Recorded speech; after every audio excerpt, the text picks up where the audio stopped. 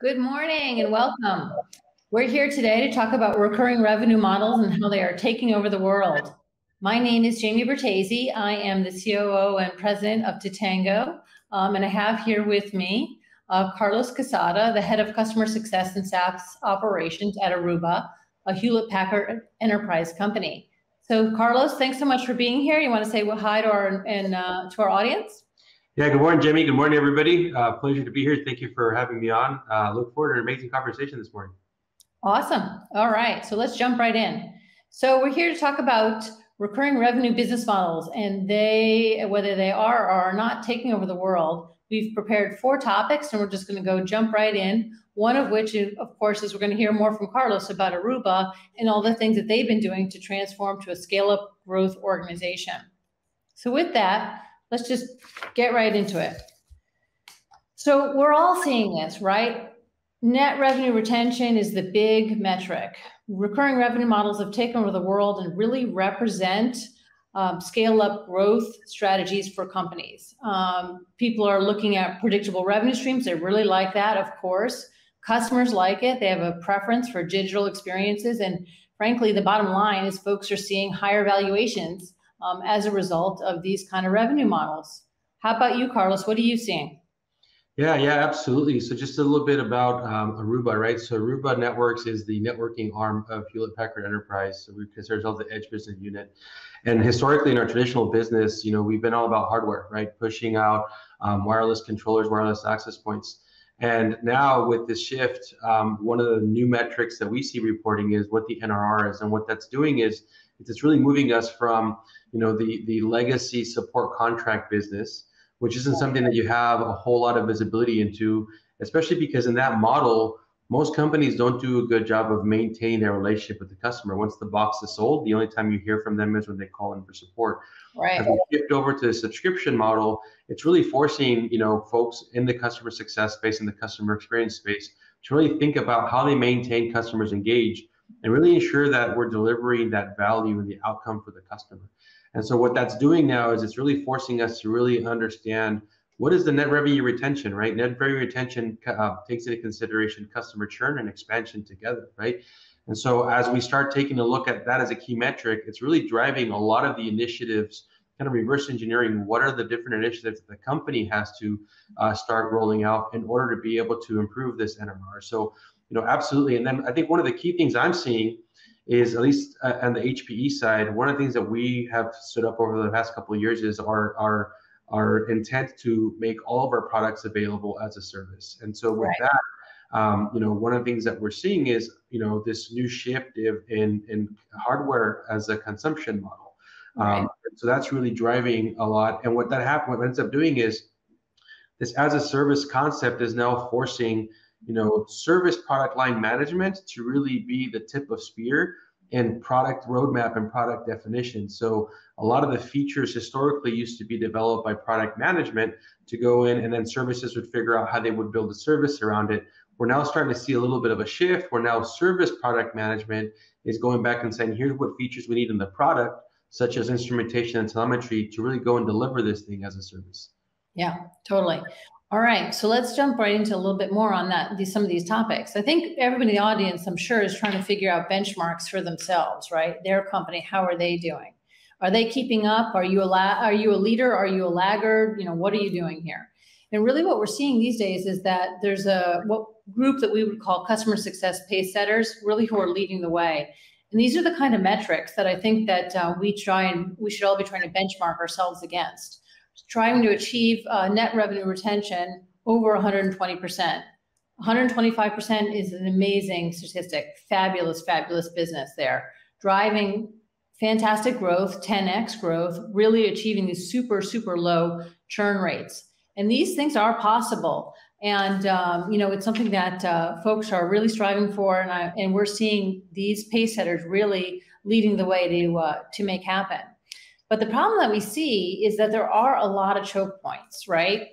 And you know, when you're really trying to move forward aggressively, transitioning as Carlos was describing with his company with Aruba, um, you know, you got to make sure that you're identifying these choke points and you're kind of eliminating the choke points, right? Because if you aren't, there's just no way you're going to be able to really scale up and move to an operating model that delivers those kind of benchmarks that we were just discussing. So, you know, most organizations that we see are not really well equipped to scale up and to deliver here.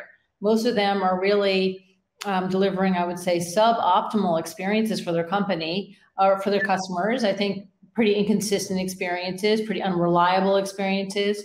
Oftentimes, maybe the responses to customers are too low or too slow, sorry, or are, um, you know, also uh, maybe just incorrect.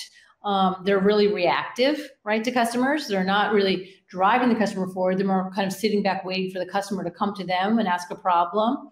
And many of the organizations we see have workflow gaps or just plain old organizational organizational lethargy, right? Someone like HPE, Carlos's organization, huge, huge company, and making some of these shifts is pretty tough. So, Carlos, what are you seeing? I mean, I couldn't agree more. Um, you know, as I take a look at the slide, I would say, you know, some of the some of the uh, choke points that I think are more significant is when you look at the slide, I think there's certain areas in here that I think as a customer success leader, I kind of can control and I have a little bit more say in. Mm-hmm. It's those choke points that are outside of my organization. So I would definitely align with the organizational lethargy. Um, one other KPI that I would also add to the earlier slide is, which has helped us tremendously in our go to market and our business model as we engage with other groups is you know the lowering of the customer acquisition costs right? Um, that's really how we go in and we and we essentially build our business case. And so what i would say for, for, for the folks in the audience the customer success leaders is the way that you get beyond some of this is um, you know bring bringing some of the other groups into the overall vision of cs early is super important. One of the things that we did very early on is as we were setting up our charter is we would go and identify who the key stakeholders across the company were and then bringing them in to give us feedback on our charter giving them a little bit a, a bit more perspective as to why we were doing this and what the goal was and as they give us feedback on on defining our charter kind of subconsciously or indirectly they're actually signing up to support this and right. so that to us was huge we Great, yeah. into, our, into our repetitive motion so as we're standing up new capabilities bringing in those stakeholders and making them part of the solution versus part of the problem has actually helped uh, break down one of those big uh, friction points for us. Yeah, so that I think that's great. I mean, I think there's no leader out there who doesn't really want to um, be driving, you know, fantastic growth, achieving those kind of benchmarks, um, lowering customer acquisition costs, so forth for their company. But you know, the questions are like, how do we do this? How do we achieve this? And I think that there's some things that we can say, okay, let's not do that, right? So, you know, let's not try some of the folks, some of the things that we've kind of listed out here for you. Um, first of all, let's not try force fitting the CRM to drive this kind of growth. It's just, it's not made to do that. It's not really going to work. I don't think bringing on some kind of monolithic customer success platform is going to work. Um, I think that uh, it's just too heavy a lift, takes forever. It's going to be very difficult to kind of make changes and iterate and move fast as you really have to if you want to eliminate these choke points. I think that um, you know bringing on tools that don't necessarily scale up, maybe uh, something that's uh, you know kind of a cheap point solution, or like uh, I would call it like some of the modern tools that are out there that are just kind of like band aids for one little piece of thing are going to work as well. So you know I think it's it's a quite a challenge to try and figure out okay. All right, I want to hit these numbers. I want to be able to drive 10x growth. I want to have single digit, you know, low churn. I want to be able to drive uh, these fabulous net revenue retention numbers for my company and I want to be able to deliver a fantastic valuation, right? Move forward my career. Um, so if this is not what I'm supposed to do, what am I supposed to do, right? So, Carlos, did you ever think about any of these op- options here on the table? Have you had any experience evaluating this stuff?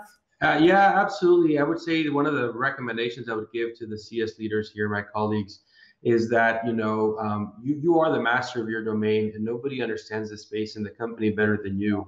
Um, you know, one of the things that I ran into very early on as I was trying to go in and and and and you know um, drive more efficiencies and, and actually build automation is I got that very that very response. Well, why aren't you doing this in SFDC? Why aren't you doing this in like it sounds like what you're asking to do can be done in this other system. And that's where I think as a CS leader, that's kind of your defining moment of how passionate are you about what you're trying to accomplish. Because let's be real, um, most of our subscriptions are going to, at a very minimum, be a one-year subscription, which means that anything that you do it's going to take a while for it to proliferate before you can see the outcome. And so if you have to go in and embed yourself into some of these other platforms that you're now waiting in line because other company, other groups in the company are also using them, and you may not be a priority, you're trying to get features and workflows built in, it's going to take a while before you can actually drive some of that 10x growth that you're talking about. And so for us, very early on, we took a digital first approach to customer success.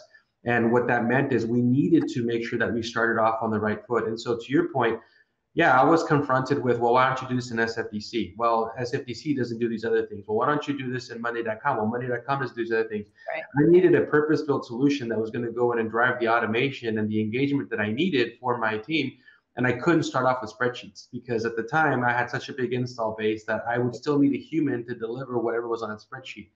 And so, absolutely, I think a lot of these touch points here I think we find ourselves um, trying to really band aid solutions together to kind of get us to the next point. But it's one of those things like it's like, you know, I've heard that term or a quote where it's like, if you don't have time to do it now, you're not going to have time to do it twice later. Right. So start off right. the right foot, go and, and, and yeah, you know, really be passionate and, and hold your line about, you know, what is it you're trying to accomplish and make sure that you're not being force fit into round hole, uh, square, square peg type of thing. Exactly. And I think it's, you know, it's honestly, I think it's a bit more than that. So, I mean, you know, the other thing I would say, if we take a look at this next slide that we have here, is that you really have to reorient your operating model as a company. So I think traditionally, many of us have been in a mode where we're all about acquisition. Okay, let's just get this customer, win the logo, bring them in, right? So in a really kind of acquisition focused, siloed approach. Marketing goes and does this, and sales goes and does this, and services goes and does this, and CS does that, and support does this. But frankly, that doesn't work in the model uh, that we're talking about here, with a really high growth operating model that you're striving to build. If you want to, in today's digital first world, which you know Carlos, of course, is talking about here, you got to move to a model where you have a really customer value driven approach right? And that sounds kind of like lofty and hard. Like, how am I going to get to a customer value driven approach? Like, what does that actually even really mean? And I think what it, it, means is that you have to make sure that each you know each piece of the organization every part of the company whether it's the sales org the marketing org the cs org they're working together in orchestration for that customer to make sure that they're delivering for the customer from the initial sale and throughout the lifetime and it might even be in the pre-sales mode i mean one of the things we see is that from the very first moment that we interact with a potential customer, we're driven, drive, driving value, value, value for that customer, whether it's um, before they've signed the contract or after they've signed the contract. There's really no difference if you want to actually maintain that customer for the lifetime. So I think Carlos, everyone would love to hear more from you specifically about how you guys have have approached this at Aruba and really moved into this kind of value driven, customer value driven uh, mindset. Yeah, no, absolutely. I think I think you hit it spot on. You know, one of the one of the uh, I would say I don't want to say cliche terms, but I'll, I'll, say that is we've heard this concept of customer success is a philosophy, not a department. And in that slide that you were just sharing, one of the things that that we've adopted is that you know customer success is really this umbrella, and it's really defining the internal workflows that need to happen to drive whatever customer experience we're trying to deliver, right? Sure. And one of the trends that I see now that you mentioned on this is what I call shifting left, meaning that, you know, yeah. in many organizations, customer success has already done a pretty decent job into defining what onboarding looks like and what the experience that we're trying to deliver for customers. But then when we go into the pre-sales motion, much of that discipline doesn't exist. And so what yeah. I'm starting to see is more and more CS organizations shifting left and sharing those best practices. And to your point, it really drives that consistent experience. So why not give a customer an amazing onboarding experience even before they purchase? Because that's just a precursor of what they can experience after they convert, right? And so, absolutely, I've always looked at customer success as this umbrella. And underneath that umbrella, you have everything from pre sales to onboarding to training to support to renewals, right? To enablement. And so, um, what we've done is we've actually built out what I call an as a service operation team. And part of that function is driving the journey mapping that yeah. needs to happen so that every group in the delivery knows what their responsibility is to deliver their piece during that phase of the customer. And so that's how we've kind of taken the approach of ensuring the customer is getting value and determining what are the KPIs that we track along each one of those phases. Right. So let's look at it more. So let, why don't we go right in here? So you were going to tell us a little bit more about what happened with your some of your stories around the pandemic, huh? Yeah, yeah. So great, uh, great segue there. So you know, uh, just a little bit of history. You know, when I started at Aruba, we didn't have a customer success program, so there was no organizational debt. Um, this actually got birthed out of the fact that we had started selling subscription uh, subscription products and subscription services, but we've been treating it a lot like um, the perpetual business.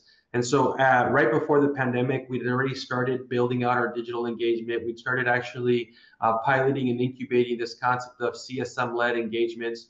We identified portfolios of customers, and we're starting to get to the point where we're doing MBRs and QBRs and customer success plans and all this. And then the pandemic hit. Um, and it just seemed very insensitive for my CSMs to be reaching out to people at that time, trying to schedule you know, their monthly sync up or their MBR or their CSP. Um, and so we decided to take a step back and really pause that, you know, typical uh, customer success manager engagement.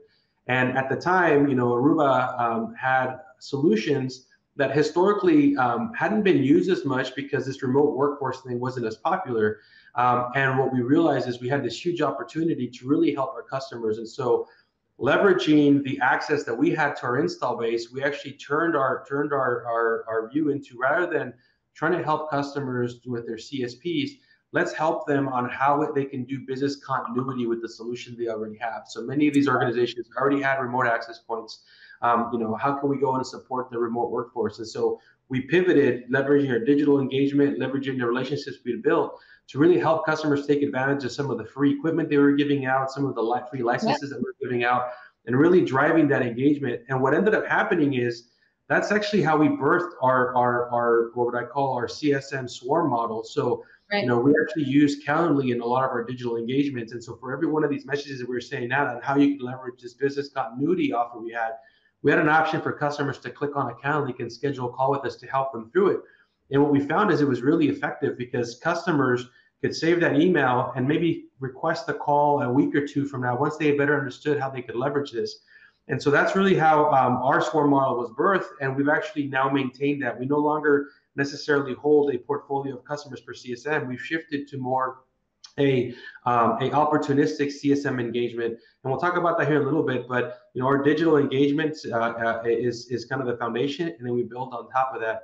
And what that's allowed us to do is really do a lot better resource management, right? We can actually take a look at where the install base is, what the segmentation looks like, and we can actually throttle um, some of the CSM engagement based on the need, right? And and the cool part is is with the automation that we have built into Tango, we can continue keeping a pulse on the customer. The messaging that's going to the customer is contextual and timely, so it's very personal. But it also gives us an opportunity to really take a view as to uh, um, you know what the install base is doing and how we should engage. Yeah. The thing is, that really strikes me from everything you're saying, it's so consistent with some of the earlier uh, discussion, which is about delivering that customer value, right? And so you know, at one point you were thinking, okay, customer value means that we want to offer them, say, onboarding programs, pre-onboarding programs before they even buy, right? But then the pandemic hit. When the pandemic hit, you decided the first customer value we were going to bring was something else entirely different, right? Because of this life event that we all went through. And you know, you, you as you say, you were feeling like uh, it would be insensitive to just kind of go through kind of business as usual, right? So you obviously had to have some mechanism to be able to pivot super quickly and to be able to change things really on the fly and very quickly that you and your team could actually move forward with. Because if you had gone with one of those other approaches we talked about in the past there the kind of monolithic approach or the force fitting the crm you would have been beholden to a whole other team to make these changes to your program which obviously would not have worked yeah. in terms of delivering that customer value. So i think that was super smart. Yeah. Okay, let yeah. me move on for you here. Go ahead. Yeah, and, and just to expand on that right um, so to your point, right, um, we, because of um, our ability to engage with our customers, whether digital or through CS-led engagements, yeah. we've now kind of become the go-to organization within the company to reach out to our install base whenever there's a message that needs to be delivered, right? Awesome, yeah, of course. Comms team. Our marketing. Absolutely, right? And so we've always had a really good relationship with marketing from the very beginning. But how do we do this, right? Um, again, how do we go in and manage the swarm team? So just as a context, these numbers here are just for illustration purposes, but I wanted to make sure I painted this picture. Right, right now, um, we're, we're a global organization and we're managing somewhere over about 14,000 accounts, you know, somewhere over $100 million with the portfolio value there. Um, and so I don't have a team of 30 CSMs, right? In reality, I have a team of eight CSMs. And so with eight CSMs, we're managing this install base many of which 90 about 94% of the install base is tech touch right And so we lean very, very heavily on the automation. But what you see here is we, we've created the ability, thanks to the, to the tool that we're using, right, with Totango and everything, where we can actually, in one eye shot, understand what the current status of the install base is. So at any point in time, I, I can understand how many customers I have in which phase of the journey. And then also, um, you know, is the customer currently on track, off track, or at risk? And right. these are the types of views that allow us to determine do I need to engage digitally or do I need to engage through a CSM led motion? We're talking about ARR a little bit earlier, right? So when you have this view on the far right, you can also see that not only do I have customers going through onboarding adoption, but through all of these motions, what does my expansion and churn look like, right? And taking that step further, when you aggregate expansion and churn, that's NRR right? Yeah. And so this is kind of the view that I would walk into if I'm going to give an executive overview of what's the product, how's the product doing, what's it looking like. Yeah. And so taking that a step further, when we go to the next slide, mm-hmm. how do I operationalize this? Well, check this view out, right? So if I have, if I don't have an indefinite number of resources, where do I spend time? Which none of us do, Carlos, by the way. None of us do. We're all here. Yeah. The idea is, is creating a view like this helps me and the team quickly go in and figure out what's the strategy, right? And I made some obvious points here. So on the bottom right, you can see that I have nine customers in my high touch segment that represent $5.2 million. I could probably go after that in a high touch model, right? Yeah. But on the far left, I have a little bit under a million dollars across 700. What's the digital emotion I got to drive there? Right. Okay. So it's, it's this type of thought process and it's this type of view that we've been able to deliver based on the automation and picking that non monolithic tool that allows us to quickly go in and create targeted email campaigns, create tasks for the CSMs to go deliver, right? What are the playbooks that need to be activated here? So, you know, combining this with where the customer is in the journey, we can now send very contextual tasks to the CSMs or yeah. digital messages to the customers to go in and drive the behavior that we need to be driven. Right. And I guess if nothing, we if we've learned nothing, everything uh, during the pandemic, it's that, you know, to expect the unexpected. We have no idea right? We've yeah. got to be able to iterate, got to be able to change. The, the competitive landscape that we're all in changes constantly as well, too. Yeah, right? the only consistency is change for sure. Yes, exactly. Okay. Let me just go ahead. Mm-hmm. Yeah, and just to close on this, right? So I walked you through at a high level how we track the install base going through a different journey. I also demonstrated the heat map of you know how we keep an eye on install base based on the segmentation. Now we talk about well, what's the delivery model look like? And so what I wanted to demonstrate on this slide is that if you take a look, the orange, um, the orange highlights here really represent digital engagement. These are non-human interactions that go out to customers automatically. And what I want to demonstrate is that the low touch or the tech touch engagement model actually serves as a foundation for all of our engagement models. Right. And what this does is it creates that consistent look and feel. So right out of the tool, customers will get the same welcome letter, whether you're a tech touch or a high touch customer. Right. What we do is that we then add human elements or human touch points as you go mm-hmm. up this, right? And over the past number of years, we've actually had the opportunity to really grow this to the point where we now have monetized customer success offers. And what we've done is we've embedded the customer success manager as part of the delivery of some of our advanced service programs.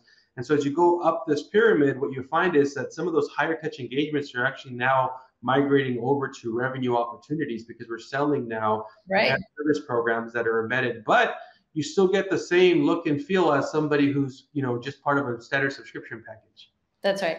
And so that so you're driving expansion, you're driving customer value. I mean, you know, it's really great, all towards that growth model um, and the NRR model that we're all looking for.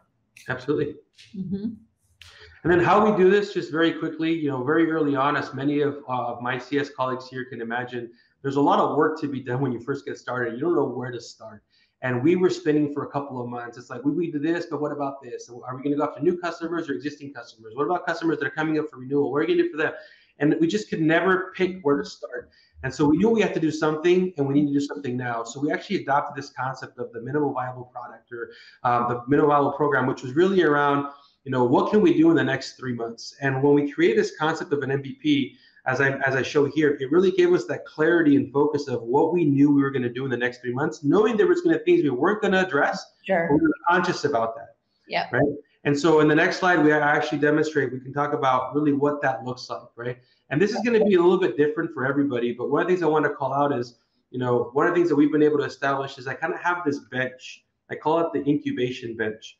And what this team does is this team is, is, is essentially in charge of going and identifying some of the new capabilities that need to be developed. And we mm-hmm. can go and pilot them and test them out.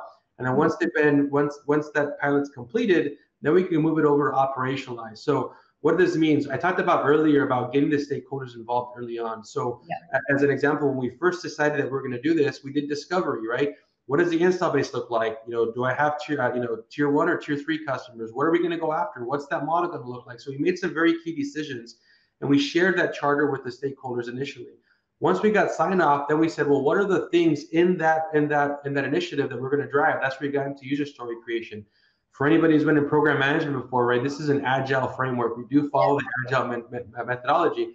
So as you go through all these different steps, the idea here is at the end of the three month uh, cycle, or at the end of the three month what we call um, uh, delivery, you have two choices. We actually move to operationalize, and whatever out, you know, the output of this here is actually the customer journey, right? One of the things that Guy talks about is that the customer journey is the product of customer success, and so this right. is exactly what this means. Meaning that at the at, by the time we wrap this up, we now have the journey maps, we have the playbooks, we have the tasks. We've identified how we're going to calculate the customer's health during that phase, and then the green arrow is let's go put that into Tango.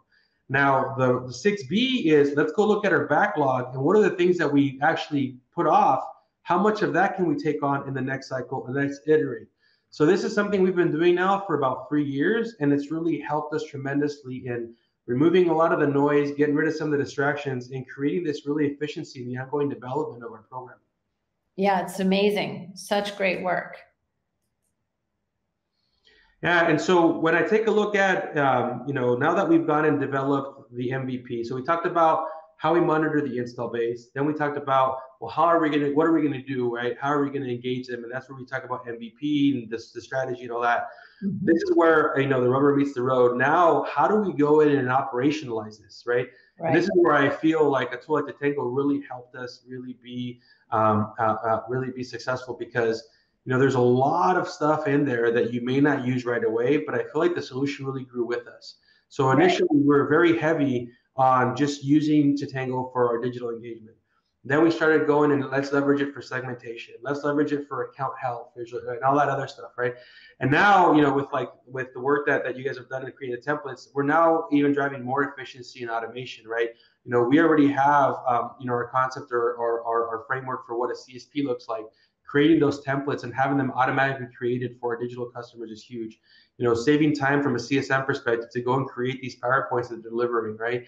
Um, that action-based triggers are something that we adopted very, very early on. This is how we engage with customers as they go from green to red to, to yellow to red, right? Right. And then the segmentation, uh, we just announced our global partner program. So that's something that I'm also very proud of.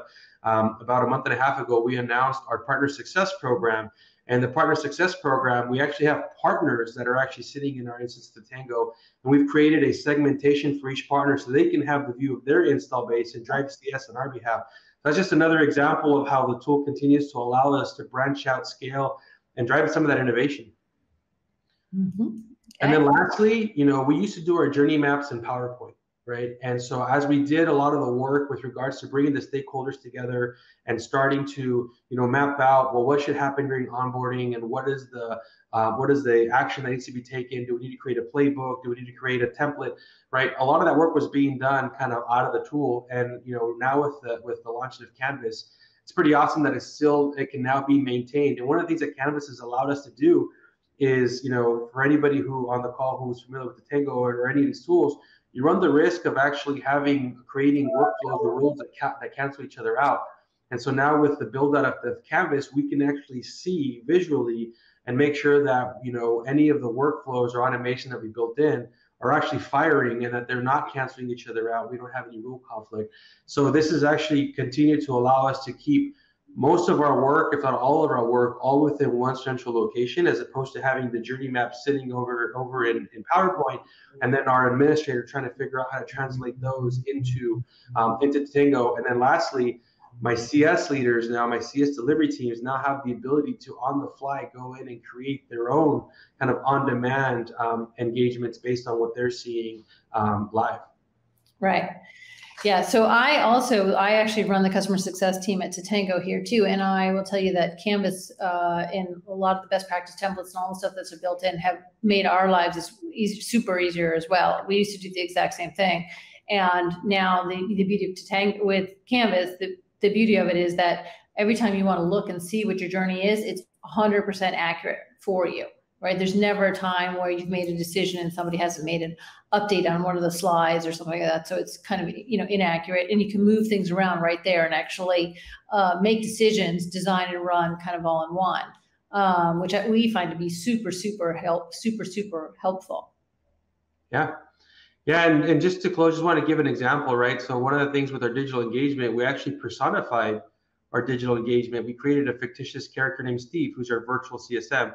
And so what you're seeing here on the screen is um, essentially what, what that Steve engagement looks like. So although we have human-led CSM engagements, we mm-hmm. also have uh, digital engagements as well. So this is just an example of what that looks like. And all this is powered through the same platform. Awesome. Should I click on this little play button or is it just a picture? I think it's just a picture. Okay. Got it. Oh, it's meaning you sent it as a video. Perfect. All right. So all the stuff that Carlos and team are doing, as you guys can see, is like super uh, innovative, interesting. They're constantly improving, constantly um, iterating their program, thinking about what they're learning from their MVP approach, operationalizing what they're learning, taking the good stuff, moving it into the full-on CS program, driving expansion, driving um, you know value for the customers like we talked about kind of from day one. And really to do that this requires for you to be able to execute like this. It does require you to have a proven growth platform. And our composable customer success platform at Totango is purpose built to, to uh, deliver in this type of situation. So first of all, the first thing you got to know is that our composable customer success platform is the only one in the world the only one like this that exists. It delivers flexibility, it delivers embedded intelligence. It's super, super easy to get started, like uh, Carlos mentioned, even when he got started. Now he's got eight CSMs and boatloads of customers, as you guys can see. He would not be able to deliver you know all of this all the stuff that he's talking about without like a fleet of csms unless he actually had some technology that was kind of working with him, allowing him to be able to iterate, improve, make decisions, and move on, right? To be able to optimize those customer outcomes and deliver that customer value, like we've talked about. So, what is a composable customer success platform? This might be kind of a new term for people. I'm not really sure how much folks are staying up on these kinds of terms, but what are the key components? The first thing that I think is important to understand is it's modular. So Totango comes out of the box as a component of our customer success platform uh, with pre-built templates. We call these things customer success blocks or success blocks, and these are journeys and uh, CS programs that are mixed and matchable. They're pre-built, ready to go for you. And this is why we find that customers are able to get up and running very, very quickly, like Carlos mentioned, um, whether they're very uh, early stage companies or super savvy. Um, was Carlos was getting started, I mean, HPE, huge, big company, right? Aruba, Carlos, but you guys were still pretty early on in terms of the the uh, migration to kind of customer success and so forth, right? Also, uh, another key component of a composable customer success platform is a unified design and run approach. You don't design someplace else and then come, come run it here. You design and run everything all in one, very easily, very quickly, moving things around exactly as you would want to do. So you're just time saving and things are always accurate. Um, you have to be very customer experience led. It has to be an outcome first gets uh, design. You want to get started day one. No long implementation period where you have to bring in your IT resources and do all this stuff that's going to be super difficult for most of us, right? Mere mortals need to be able to stand this stuff up day one. Also, as I mentioned, you know, the best practices already, you've got to have that multidimensional customer view. You want to have unified visibility of what's going on with the customer across all stages, across all data, but you want to see only the relevant data, the current data. We need to see every single thing about the customer. You want to see what's going on for this particular moment, like Carlos was showing us with his red, yellow, and green and by journey stage. Um, and, uh, you know, in terms of uh, churn stage, et cetera. Um, also, I think that you really want to make sure that you've got uh, friction-free orchestration. And what this really kind of comes down to is that you've got shared participation across the organization, like we talked about. You cannot have something that is just acquisition oriented. Your org has to be designed to deliver customer value across the company. So everybody, even from the first moment that you're touching that customer, they're getting value. And I think these are the things that these customer success pace setters that we're working with, these you know really strong leaders that they're able to achieve, and these are the companies that are really going places. So what's in it for you guys? Why should you care? Why should you think about all this? Well, you know, you really need to um, uh, think about where you want to go. What kind of goals do you want to achieve? Our composable customer success platform supports your needs across all three of these pillars. Value day one, you can continuously iterate, like how, like uh, Carlos was mentioning, and then you you know you can predictably scale up your business and grow. Um, you can bring the right balance of human and automation, and you can set you know get better kind of every single day um, as you move forward, whether that's from the best practices that are included or uh, from the community contributions or the training programs that are included. It's all about mixing and matching with a composable customer success platform. We, we like to say, your CS, your way. All right. So, how do you become what we call a scale up winner, right? What do you really actually need to do? And the thing I like to tell people about this is just start wherever you are. You do not have to figure every single thing out before you get started. You can start very quickly and easily, no matter what your um, experience level, what your size of organization, or your complexity level. So we have customers who are very, very small, just a you know like a small number of customer success folks on their team, or maybe they're a company of 25 employees with 100 customers, all the way up to the largest in the world. And um, it doesn't matter with a composable customer success platform that Totango brings to you. Frankly, uh, you know, you can just iterate as you go and bring in the building blocks and compose what it is you're trying to do. There's no reason to have to cre- recreate the wheel or actually um, figure everything out before you get going. And this has been when I talk to customers about this who are you know kind of on the other side of everything here, delivering these these pace setters, delivering these fabulous results and NRR over 120% and so forth. This is what they speak to. The fact that they didn't have to figure everything out, they could just get started, and then as they got going and they were delivering value to the customers, delivering value to their organizations, they could do more and do more and do more, as Carlos has, uh, has um, uh, been mentioning. So, what do you think, Carlos? Any last uh, words of advice for our uh, for our customer or our audience here? No, I think I think like I said, like I mentioned early on, be passionate. I think it's important to understand that this is an iterative, iterative approach. You're never done.